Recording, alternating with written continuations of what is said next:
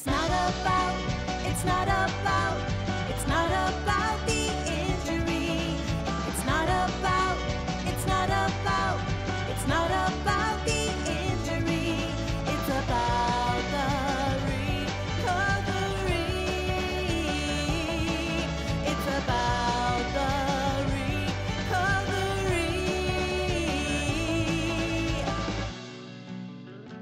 Hi, folks. This is Paul Padda with the Paul Padda Podcast, here with you for another exciting episode coming to you from Red Chimp Studios. Today, my guest is Tony Abbatangelo, attorney extraordinaire, all around great guy, Mr. Las Vegas. Yes. I think of you as Mr. Las Vegas because you, you you were born and raised here. I mean, I don't I don't think I've ever met a person in this town who knows more people, Tony, than you do. well, How's that possible? well, I'm the kid you went to high school with that talked to everybody. Yeah. Didn't matter who you had money, if you were broke, if you were smart, or you weren't such a good student. Mm-hmm. And I got all kinds of examples. Um, yeah, so I talked to everybody. So and I was always nice and uh, to people and you know help people out. And one of my best compliments I have is when people said, "Hey, I was at a fundraiser or a party, I didn't know anybody, and you came up and talked to me." No. and tried to make me feel welcome. Well, I gotta tell you, you do have that personality. You're very engaging and you're very easy to talk to. My God, you could be like a marital counselor or something. a shrink, maybe. Yes, uh, I got enough issues. I can pass on that professional help. Well, Well, you, you, so you're part of my law firm, Paul Padda Law, where you do personal injury. Now you're also a part of a, uh, an affiliate firm called the Vegas Lawyers, where you do criminal defense. So you're an interesting person because you do both criminal and personal injury. There are not a lot of lawyers in this town that do both or do them well, and you do both of those very well. So the Vegas Lawyers, I understand, is uh, a new. T- tell me more about that firm. well, first of all, when you came up with that idea, I said I loved it because I was born here. And actually, when I went to school in San Diego, and this was in the 80s, the famous Fabulous Las Vegas sign, Yes. they started calling me Mr. Vegas, Mr. well, Actually, I was Mr. Fabulous. My roommate had a 69 Cadillac. And the license plate was Mr. Vegas. Mr. So it was Mr. Fabulous and Mr. Vegas. So I'm like, I love it because Vegas, especially back then, had such a flair. Yes. Because other states didn't allow gambling back then. And the UNLV rebels, we were rebels. You know, we were not, you know, we were out of the main progeny of life and Jerry Tarkanian. Yeah. And I, you know, uh, his son George was a year ahead of me Mm-hmm. in high school, and Danny was a senior when I was a freshman, and Danny went to University of San Diego Law School when I was an undergrad there. So you know, there it was a small town. Yeah. And so the Vegas lawyers, I love that image, but my dad was a lawyer, so I grew up in the law, and I love what I do. And we handle all kinds of cases, from traffic tickets all the way up to murder cases. Yeah. And And you're the king of DUIs too. well, Not for getting them, but for defending them.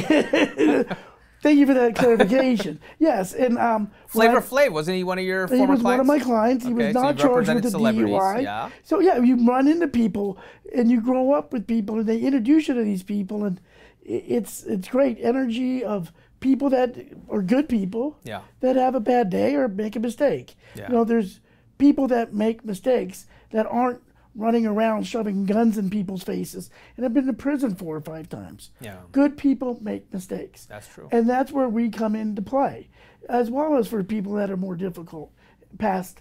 And we do our best. And we pr- approach a criminal case here at the Vegas Lawyers with every angle possible. Mm-hmm. From, hey, let's get you into a rehab. And I've got people that I've known who have started rehab places. Yeah. And they want to get people better.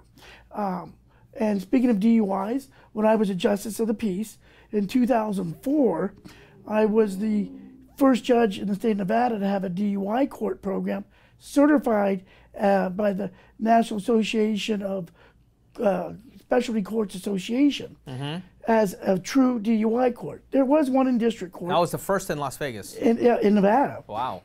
And uh, it's now called the Moderate Offender Program. Okay. And we evolved it. We started getting grants. Eventually, started teaching at the uh, national level, from sustainability to practices, and uh, we put a lot of time into that. court. So what do you? I mean, so safe to say you you, you are the expert on DUIs. You've you were the ju- chief judge of the court, and you probably saw so many DUIs come through your court. Right. What what are your some some of your main observations over all those years? Well, eh, there's the nice thing about being a judge is you get to watch also other attorneys. As the old saying goes, God gave us two ears and one mouth, so be quiet and listen, right? That's a good so line. I like John Watkins, who Uh-huh. actually who I do, who's now retired, who I for the most part retired, who I did call the king of He's DUIs an, he's an amazing lawyer. because that's all he did was DUIs, and he Yeah. worked for my dad in the Yeah. 80s. Okay. So I would watch him come in. Yeah. Uh, new lawyers, lawyers on the up and coming, and I could name a bunch that are excellent DUI lawyers, Mm-hmm. and I watched them practice, as well as prosecutors. So I know the ins, the outs, and I know how to properly utilize the court's time, the DA's time, and the defense's time to get the best negotiation. Because 98% of all cases, civil and criminal, resolve without a trial. That's true. Uh, or if we need to, let's go to the, let's, as we say, let's tee it up. Yeah. Let's put this on and do a trial. So what what are the two biggest defenses in a DUI case? I would imagine number one is whether the police had probable cause to pull the person over, and number two, does the person's blood alcohol content, you know, meet the standard level? And if it does, there's really not a lot to fight about after that point, right? Well, and that's where I tell people actually there's four main elements of a DUI. Okay, I stand corrected. Yeah, I no, but know. there's two, a couple of main issues like you're mentioning. Number one is what you said. Is there probable cause to stop you? Mm-hmm. Because I don't care if it's a DUI or a drug search. If they don't have probable cause, they being the police, we're going to get that case beat or favorable res- resolution. Yeah. So there's got to be probable cause for the police to stop you. Okay. As I was lightheartedly telling a guy the other day, well, when you're at the red light and it turns green and it turns red and it turns green and it turns red and somebody calls the police, they come up to you and you're sleeping in the middle of the in your car in the middle of the road, that's probable cause. That's probable cause, and I don't know how people's feet stay on the brake, but Yeah. they do. Okay. Um, then number two is an element that doesn't work as well because as time has progressed, the DAs have figured it out and the prosecution figured out is are you in actual physical control of the vehicle? And actual physical control is not just sitting behind the wheel like a traditional speeding and you get stopped, yeah. but you get outside the car, you're changing a tire. When I was a baby lawyer back in the early 90s, that was a winner. Yeah. You were done. Okay. We had a reckless all day, or even better. Mm-hmm. Now it's was anybody else at the scene? What was your admission? Hmm. Oh, because the officer can say, what, what happened here? Why are you outside your car? Oh, I was driving and got a flat tire. Well, your admission is a statement, as you know from your years of practice, comes in as evidence. Mm-hmm. So they utilize that against you. Yeah. So that element of being actual physical control isn't as much of a defense as it used to be. So, so if a police officer pulls you over for uh, suspicion of DUI, and they tell you, well, we want you to take the field sobriety test, what should a person's response to that be? My opinion is you don't have to take the field sobriety test because there's no consequence. Yeah. So, for example, and frankly, if I could interject, and just ask, unless you're an Olympic gymnast, you're probably going to fail that test anyways, right? well, back in my drinking days, we used to practice at the bar. you know, we had that foot up there. we practiced because you know. Just in case, just yeah. in case, Yeah. right? But it's uh, you know, one of them. The first test they do is the standard. You know, where they do this with the pen. Yeah. The horizontal gaze and nystagmus test. That's very subjective. Yeah. Of And here's a funny story. Uh, recently, you know, as you know, I had eye issues. I was at the ophthalmologist, and he got stopped for a DUI. He goes, I hadn't been drinking, and he goes, I started questioning the cop about the way he was making me follow the pen. He, I told him that wasn't accurate. Yeah. So I mean, imagine a nightmare of a cop Right. stopping an, you know, an optometrist, opto- yeah. optometrist or ophthalmologist. But the field sobriety test, there's no adverse consequence. But there is an adverse consequence for what's called the preliminary breath test. Hmm. The PBT, taken in the field, is when you blow in the machine. It can only be used for probable cause purposes. It's not a certified test, so it doesn't come in as proof of guilt beyond a reasonable doubt. And they can, the police can use that, and the prosecution can use that to continue to stack the pieces against you. I see. But if you don't take the PBT, then you lose your license for one year, hmm. which in Nevada or at least Vegas is a problem mm-hmm. because of the lack of public transportation. Yeah. So field sobriety tests, I tell people, there's no reason to take it. Preliminary breath test, you better take it mm. because that's a really tough penalty if you lose. I mean, I'm sorry, if you don't. So what what is the what are the odds that someone's going to go to jail over a first time DUI offense? Well, going to jail initially is yes. Okay, And for years since I've been back in private practice, that a lot- sounds scary. yeah, well, because you're going to get arrested, they're going to take you to the jail. Okay, They're going to tell you to do a blood or a breath test. But you but so basically probably like a couple of days, right? We're not talking like a year or something. Oh no, no, no. Okay. So you'll be released. I would tell people. I tell people eight to twenty-four hours. But one thing they do, in by law, is at the jail you have to blow into like a PBT, a mm-hmm. preliminary breath test, and that is not submitted as evidence. And if once you're below, I think a .02 or .03 or below, they'll release you. Mm. So if you're really smashed out of your mind, you might be in there for 24, 28 hours, 30, because you're so high on your blood alcohol level. Mm-hmm. If you were real low, you know, they'll pop you out of there. They want to get people like that, nonviolent offenders, out of the jails. Now most DUIs are misdemeanors. Is that correct? First and second offenses within seven years are misdemeanors. What what if you caught? What if it's it's a first time offense? You cause a car accident and the person is injured in the other car. Can, can that be bumped up to a felony? Absolutely. Oh, The- wow. one of the tough statutes on the criminal side, uh, defense side, is, and it's I love the number NRS .060. it's a sick- it's one of the first statutes. It's a definition of substantial bodily harm. Hmm. Substantial bodily harm, section one, is what people traditionally think of: broken bones, mayhem, disfigurement, all kinds of stuff that really is crazy. Mm-hmm. That you would go, yeah, that makes sense. But subsection two says prolonged physical pain. Yeah. So, you know, like in our personal injury cases, you got a sore neck, whiplash for a day. You've had pain for 24 hours. That could count as prolonged physical pain. Yeah. And the big picture is they also, uh, the DAs also take that into account. So we we got lucky on a recent case. There was very serious car damage by two cars. Our client had a .05, so he's below the legal limit. However, you know, we're waiting to find out what happened to this guy. He went to the hospital, but luckily, he the, the injured person only had basically soft tissue injuries. Mm-hmm. And when I talked to the prosecutor, he said, "Look, you know, as we went back and forth, he goes, I judge this on broken bones. I judge this on, you know, like severe lacerations if you need 15, 20 stitches on your cheek. Right. He goes, I'm, I'm going to go with that.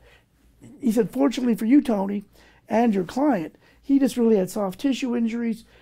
But then we put in the other factors of the car insurance, the settlements, things of that nature. And we took a multifaceted approach to it.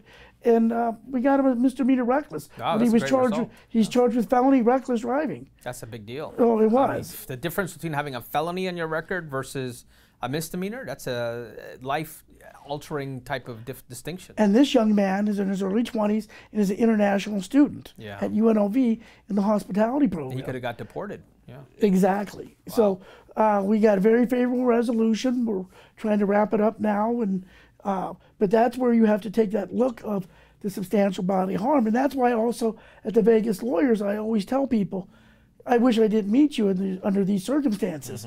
Take an Uber, take a Lyft. Yeah. let somebody else drive. Yeah. You know, it, it's you could not only harm yourself but somebody else, and you have to live with that guilt That's right. and that let alone ruining your life with a felony in your 20s or whatever and it's a very difficult situation Yeah. but one of the things i wanted to swing back to is one of the things you stated is what is the blood alcohol level or mm-hmm. breath alcohol level Yes. if it's 0.08 or above you're hit with a dui now the test has a little variance in there so if you're right at 0.08 0.09 depending on your prosecutor the fight could be on if not, you might just get the uh, reckless.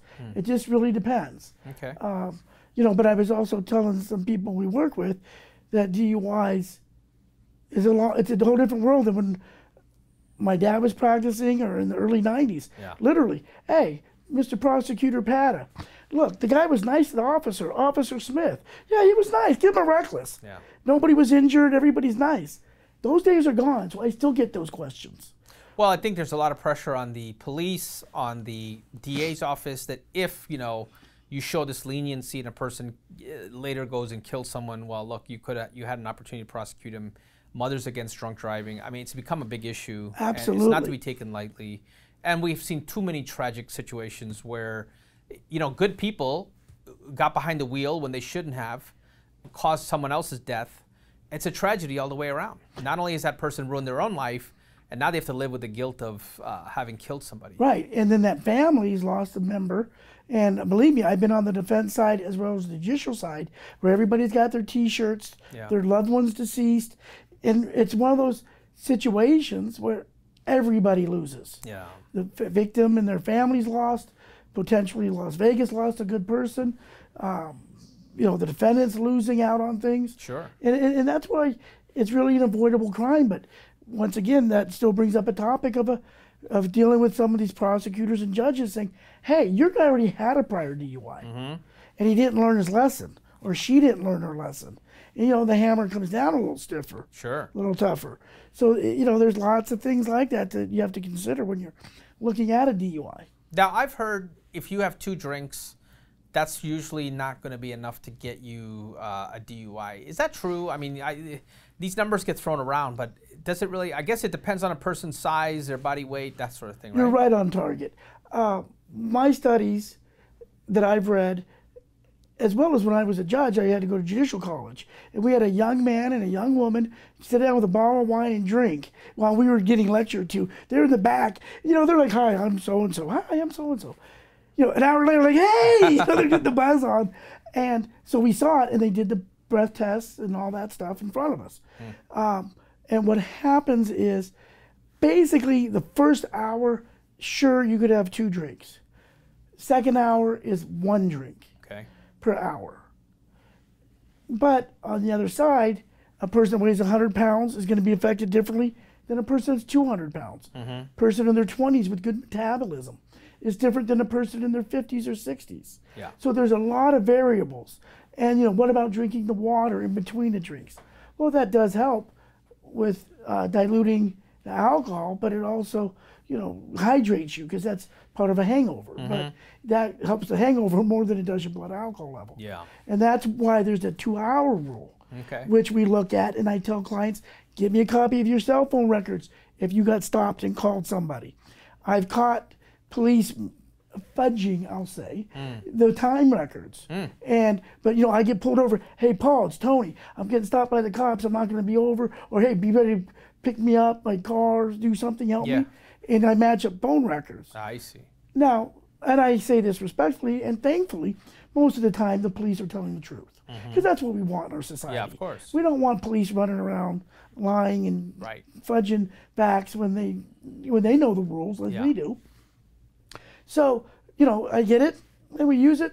If not, we don't use it. It just depends if it's beneficial. So you're saying the police have to administer a blood draw or a breath test within two hours of stopping you? Correct. I see. Now, that does not apply to drugs. Okay. And drugs obviously is only the blood test. Yeah. and uh, to stay focused on the alcohol. That's right in the statute, two-hour rule. And you know, I've got a guy, uh, or we have here at the Vegas lawyers, somebody that's a .24, three Wow. times the legal limit. Oh my goodness. But the blood draw, blood draw is way past the point, uh, way past the two hours, Mm-hmm. and there are multiple factors that are involved, including having a clean record yeah. including not being in a car crash. Therefore, nobody's hurt. And there were more factors I could go into that got us a reckless driving, but you know there were some other heavy fines imposed because with the relationships I have with the prosecutors, mm-hmm. of being straight and fighting as well, Yeah. We worked out a negotiation with both sides could live with. I, I've seen the juice you have. They treat you like they're you're, you're you're a buddy of theirs. You walk into court and everybody's like, "Hey, there's Tony." Well, the judges, the prosecutors. once again, I went to high school. I'm uh, the guy you went to high school with to talk to everybody, and that's just it. And that's where they also understand when I know I got a slam dunk loser case. Yeah. I don't do stupid things, Oh, and that's where our clients benefit. Yeah. Because there's certain attorneys that everything's a fight, right. and they're not respected. And the client comes out worse in the end. They do. They get hammered. You saw it as a prosecutor. Attorney gets to go home and say, "Well, I did the best I could for you. I'm sorry, you got screwed by the prosecutor." When in reality, you know, they're pissed at you. they're pissed at you. Yeah. Well, and you saw it as a prosecutor, you saw it as a defense attorney, when there's certain people that are just fighting everything. Yeah. Stupid things. Right. and it was funny actually here here at the Vegas Lawyers on a murder case.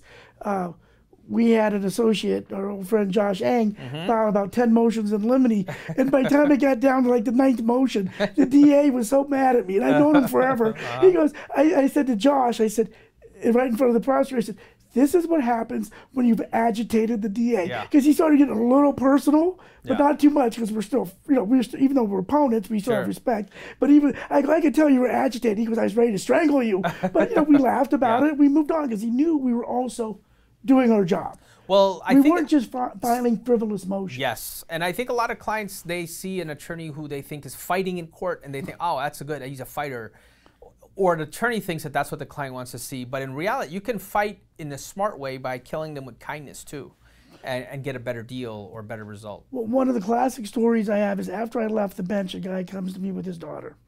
She stole some items from a friend. So I called the prosecutor up after looking at the evidence.